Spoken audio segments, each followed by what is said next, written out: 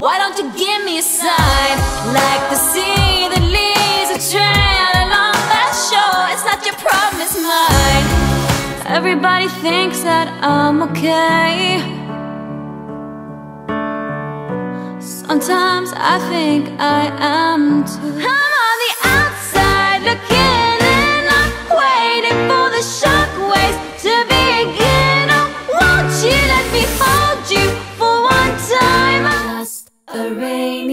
in a London cafe. A London cafe. So give me one, one last serenade. Say to me, swear me till night turns into day. It was a shame when daylight faded because we didn't notice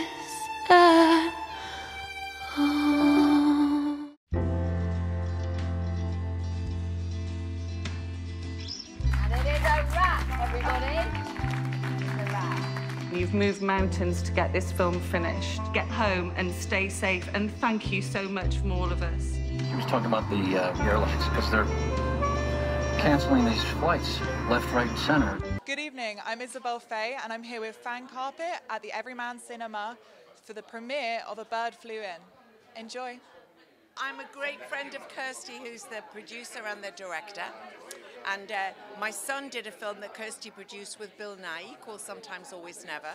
So I was aware when Kirsty was making the film, I've heard such a lot about it. And of course, we can only all be affected by um, memories of the last couple of years and how hard it was for all industries, including ours. So I'm really excited about, uh, about seeing it. I'm supporting the film. I'm a northeasterner like Kirsty is. So we've known each other for 100 years. And, um, and we always support our own, the Geordies. So I'm really happy to be here in a supportive, supportive, non-acting role. So the film's about lockdown. Uh, what was your experience with being in lockdown? Horrendous. I spoke out very. Um, I was a very active speaker against lockdown and um, how I felt it was going to impact on the future of all sorts of professions. So um, this is going to be really interesting for me to, to have a look at this because there was a lot of my friends within this industry who were excluded from any kind of financial help whatsoever and uh, there was no support for them. And many people had to try and find other jobs. Some of them have never been able to make their way back into the acting industry. So I think it's been a very, very tough time for a, a lot of people, and of course, we're feeling a lot of the consequences now. Thank you for joining us here at Fan Carpet. Make sure to follow us on Facebook, Twitter, and Instagram. Are we really alive at all? One of the things we do know is that our lives will never be the same.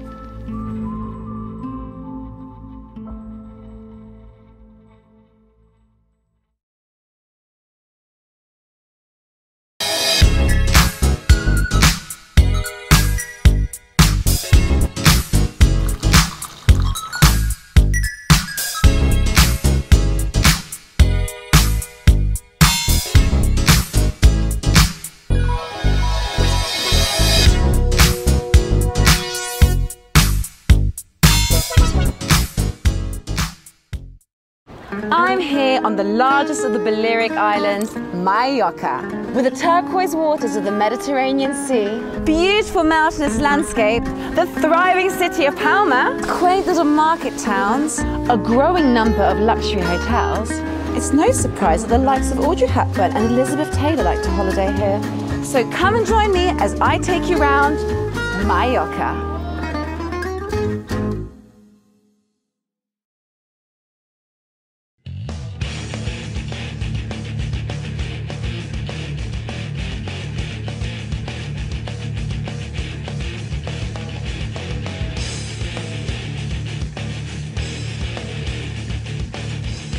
Thank you for watching the fan carpet. If you like this video, be sure to click that thumbs up button at the bottom of your screen.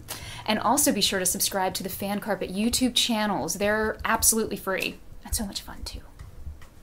Be sure to check out the official website, thefancarpet.com. Also, you can follow us on Facebook, Twitter, and Instagram to stay up to date with reviews, competitions, the latest news, and so much more.